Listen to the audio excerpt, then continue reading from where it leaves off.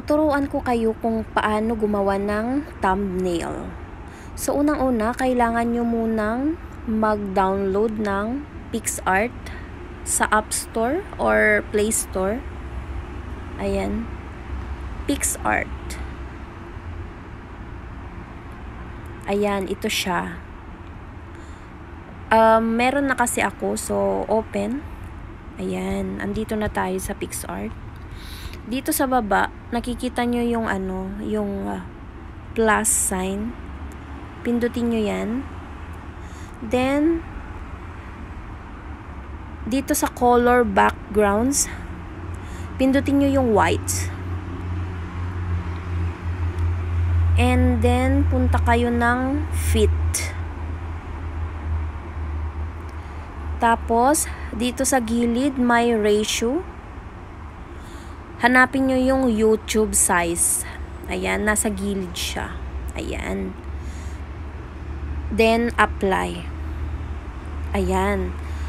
So, nasa inyo guys kung lalagyan nyo ng background. Pwede naman pumunta tayo ng Google. Ayan. Mag-search lang ng background. Marami dyan. Marami kayong pagpipilian. Depende sa inyo kung ano ang type nyo. Paano. Ayan. Ito sa akin. So, long press, then save. So, automatic na yan na nasa photos nyo. Ayan, andun na siya. So, balik tayo sa PixArt. Ngayon, kukunin na natin yung dinownload natin. Punta tayo sa Add Photo. Ayan. So, i-click nyo yung dinownload natin. Then, sa taas, add. Ayan. So, ngayon, pwede nyo siyang i-adjust. Ayan. I-adjust nyo lang siya. Ayan. So, ayan. Then, apply. Ayun. Um, depende sa inyo kung anong gusto nyong ilagay. Kung gusto nyong lagyan ng mukha nyo, ayan, add photo hanapin nyo yung gusto nyong ilagay. Um, ito sa akin. Ayan. So, kailangan ko muna siyang i-crop. So, punta tayo dito sa cut out pala. Dito sa baba, makikita nyo yung cut out. Pindutin nyo yan. Then, pindutin nyo yung outline. Ayan. So, Ayan. Ganyan nyo lang. Ayan. Then, sa taas may arrow. Pindutin nyo yon. So, ganyan ang magpapakita. So, kailangan nating ayusin. Meron dito sa baba, restore, erase, preview. So, sa restore, ayan, may size siya. Ayan gawin nating ano lang maliit. So ayusin natin.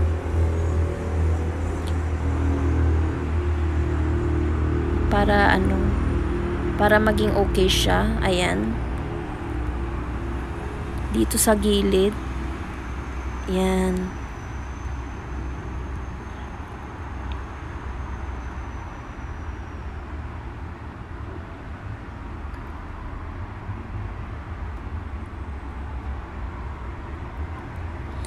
Saan pa ba? Dito. Sa taas, yung aking buhok.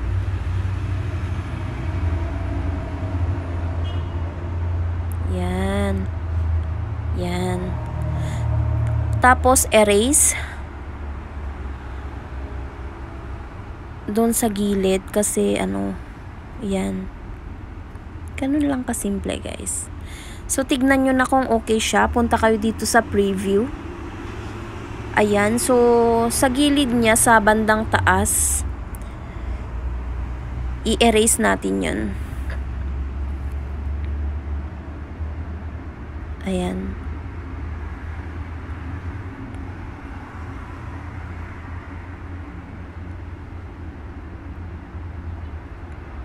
Ayan. So, tignan ulit natin kung okay na. So, meron pa konti sa gilid. Ayan. So, okay na para sa akin, okay na yan. So, isave mo na. Nasa taas, save. Ayan. So, pwede mo siyang i-adjust kung ano, gaano kalaki. Ayan. Pwedeng maliit lang, pwedeng malaki. Ayan. Depende sa'yo. Pero sa akin, ganyan. Okay na yan. Dito siya sa gilid. Yan. Nasa iyo naman kung gusto mong lagyan ng i-click mo lang siya. Lagyan mo siya ng border. Ayan. Yung line niya. Ayan. Depende anong kulay gusto mo. Ayan. Marami kang pagpipilian. Ayan. So, ako, ang ilalagay ko, white. Ayan, pwede mo siyang, ayan, dito sa may amount, ayan, pwede. Ayan, nasa iyo kung ano, um, ilang amount yung gusto mo, ayan. Sa akin, ganyan lang. Ayan. So, pwede mo rin lagyan ng shadow. Shadow. Ayan. Pwede rin hindi. Marami kang pagpipilian dito, mga effects. Ayan, pero wag na. Ganyan lang. Tapos, kung gusto mong lagyan ng text, dito sa baba, may text na nakalagay. Ayan, pindutin mo lang siya. Ayan. So, ang ilalagay kong title, um, hindi mo ba alam gumawa ng thumbnail. Ayan. So, ganyan siya. Pwede mo rin siyang i-adjust. Hmm. Ayan. Pwede mo siyang i-adjust. Ayan. Ayan. So, pwede mo ring lagyan ng color. Ayan marami kang pagpipilian. Yan. Depende sa'yo kung anong taste mo. Pero sa akin yung red. Tas, pwedeng lagyan ng, meron ding font dito, ayan, sa baba. Marami kang pagpipilian. Depende sa'yo kung anong gusto mo. Ayan. Yan. Ayan. Ayan. Pero dito lang ako sa una. Ayan. Lagyan mo ng stroke. Ayan. Amount. Depende sa'yo. Ayan. Ayan. Okay na sa akin yan. Lagyan ko pala ng shadow. Ayan. Shadow. May shadow siya. Ayan. Di, um, kung gusto mong lagyan ng sticker, sa baba may sticker, i-search mo lang ang gusto mo. Lagyan ko ng question mark question mark. Ayan. Marami kang pagpipilian. Ayan. Mag-search ka lang. Ito. Ilalagay ko siya. Dito. Pwede mo ring i-adjust. Ayan. Yan. Ganyan. So, ngayon, masyado siyang maliit. Ayan pwede mo siyang i-adjust. Ayan. So, kung okay na, nasa iyo naman, marami kang pagpipilang mga stickers. Kung gusto mong lagyan ng subscribe, ayan. Marami kang pagpipilian. Depende. Ayan. So, ngayon, okay na yan para sa akin. So, kung isa-save nyo na, nasa taas, apply.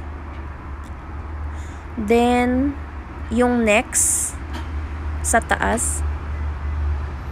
Ayan. Then dito save. Download. Ayan. Tapos done. Ayan. Okay na yan. Automatic na siyang magse-save sa photos nyo. Ayan. Ayun na siya guys. Ayan